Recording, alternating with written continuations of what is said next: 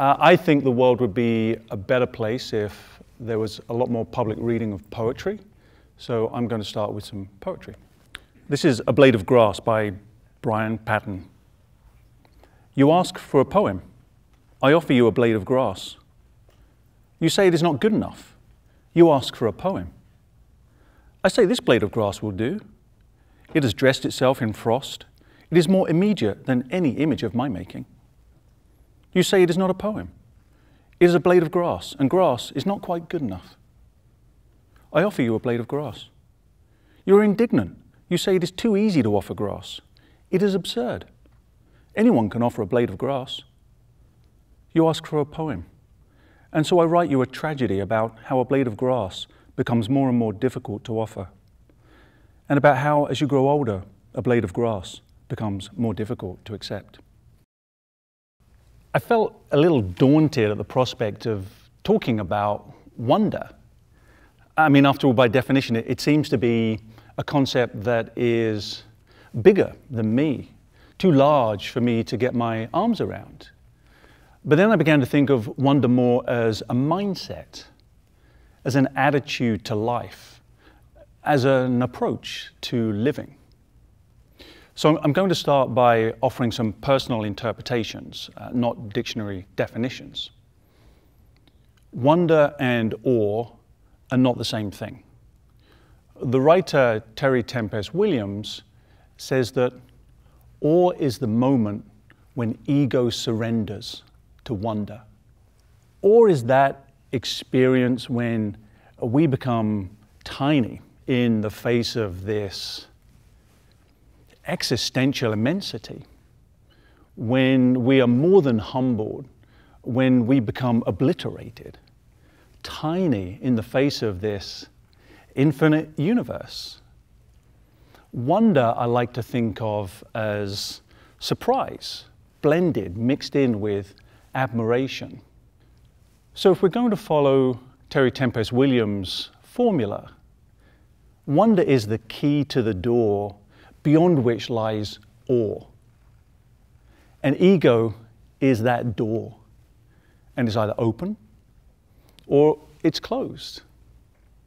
So, ego is that barrier, and I'm wondering how does that show up in our lives? How, how are we going to surrender it? Ego perhaps shows up as arrogance, as a certain sort of self righteous certainty. And goodness only knows I've been guilty of a degree of self righteous know it allness. Ego perhaps shows up as indifference, an indifference to life, an apathy towards living, an absence of curiosity. Ego maybe manifests itself as false certainty, a kind of fake it till you make it attitude. And that's understandable, right? Um, no one wants to be the person that doesn't know something. We live in a world where knowing things is valued. I don't know about you, but, but I have on occasion been paid to have answers, not paid to be questioning. And maybe this reveals something a little deeper about ego. And it's fear fear of embarrassment. No one wants to be the person that puts their hand up to say, I, I don't know. I don't understand. I, I'm, I'm ignorant of this. Ego can stupefy us.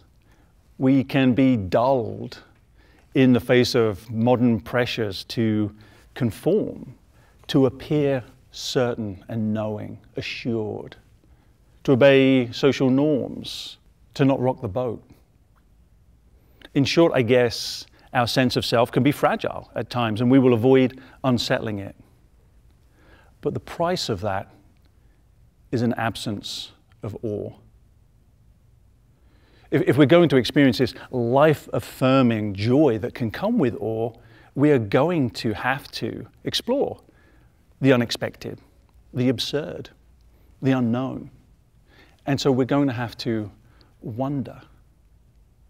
So I think in that regard, I'll offer you the same advice that poet Rainer Maria Rilke offered to a young man that asked for his counsel. And Rilke had this to say. So Rilke said in Letters to a Young Poet try to love the questions themselves, like locked rooms and like books written in a foreign language. Do not now look for the answers. They cannot now be given to you because you could not live them. It is a question of experiencing everything. At present, you need to live the question. So I can't tell you about the source of this, but Albert Einstein is reputed to have said, if you give me an hour to solve a problem, I'll spend 55 minutes thinking about the problem, five minutes thinking about the solution. So wonder is an active, intentional practice. And I think that wonder is located and emanates from within us. And I also believe that wonder is to be practiced in the world, the world around us, and especially with the people around us. Because I believe that ordinary people are possessed of extraordinary stories.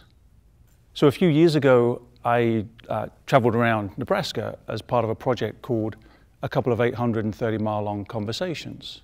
And I traveled to small towns with the intention of meeting people, purely for that sake, to talk with them. And among the cast of characters I met were people like Butch in Neligh. And I chatted with Butch for a little while, and at one point I asked Butch, What do you want in a community that you live in? And Butch said, Well, get rid of the damn Mexicans for one thing, which I'll admit wasn't the response I was hoping for.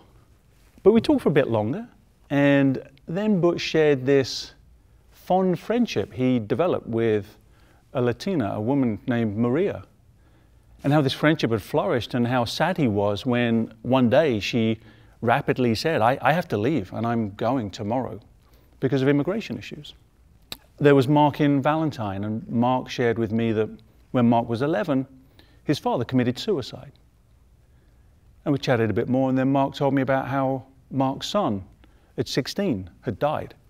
And that Mark had spent his entire life making sense of these two deaths. I met Edison Red Nest in Alliance, and Edison shared with me a story of a happy childhood that, that went off the rails drug addiction, drug dealing, seven years in Tecumseh prison. And then he emerged and founded a, a non profit whose mission was sharing positive stories and the rich cultural heritage of his native Oglala Sioux people. But as he's telling me this story, and we spoke for two hours, at one point he just stopped and he said, I can feel my heart racing. I'm, I'm a bit short of breath and, and my, my palms are sweating. But I have to keep telling you this story about these traumas.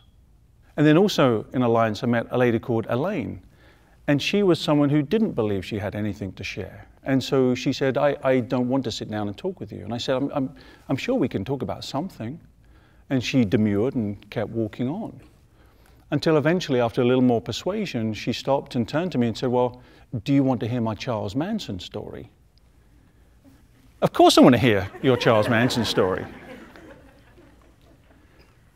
Wonder is a, it's an active, intentional practice. I believe it is a doing endeavor. I also firmly believe, and I was kind of pleased to see some of you have on your name tags, that part of what brings you wonder is that willingness to surrender your ego when confronted with the humans around you. And so I, I feel like wonder is not something to be talked about or to be talked at you. I think it's a, it's a doing thing. And you're a self-selecting audience. I mean, you've turned up. You, by being here, you've demonstrated an inclination into valuing questions, into valuing creativity, into valuing each other. So at this point, I'm going to stop talking. And what I'm going to do is um, the gang over here are going to pass around some cards. And I think the important part of wonder is to activate it and activate it by exploring it with each other. So these cards are going to be passed out, and my invitation for you over the next five, ten minutes is to take these cards, maybe pick a question, pick your own question, but I want you to find someone that you don't know, um, maybe two or three depending on time, and see if you can surrender your ego and see if you can find wonder in a journey with someone else.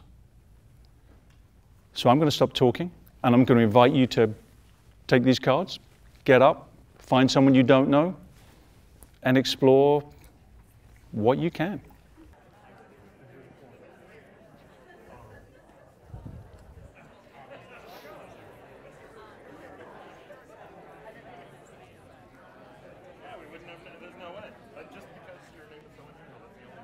Hands up if you found someone wonderful. Yeah. Hey, great. Who, who would like to say something wonderful about the person that they chatted with? Does anybody have something wonderful? You, you all met some wonderful people. Did you learn something wonderful? Tim, Tim learned something wonderful. I have, I have like a whole list of things, but the, the Just one thing, Tim. oh, okay. Then, I'll- then I'll give you the craziest. I wanna hear the because, list. Uh, yeah, I know it is a long list. Bec- I'll just give you the craziest one because I walked up to her and I saw her name tag, and it says Alma and. I said, I know an Alma. What kind of? I knew of an Alma. Back in the '80s. That's Alma. It's the same person. Wow. That's crazy. I told you. She, oh, she, she chose me because this is her daughter, and she said, I do not want my daughter walking up to a guy like you, so she's gonna meet that guy. And then I'm gonna talk to you. So that was kind That's of That's not how it went. I, I just exactly how it went. I just applaud your decision making, to be honest with you.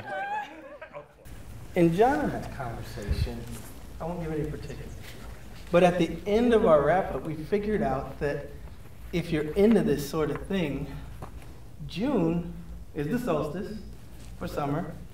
And so if you think about it, June is heavy. And a lot of things, a lot of decisions, uh, very important, whether they be political, social, um, personal. We figured out that June is a heavy month for us, and we were wondering if it was because of the solstice sun, lunar, magnetism, all those things. So that was something that opened up a door to wonder for me. Also, happy birthday. Okay, thanks everybody. Uh, I guess I would just encourage you to surrender your ego, practice wonder, and hopefully find awe in your life. So thanks everybody.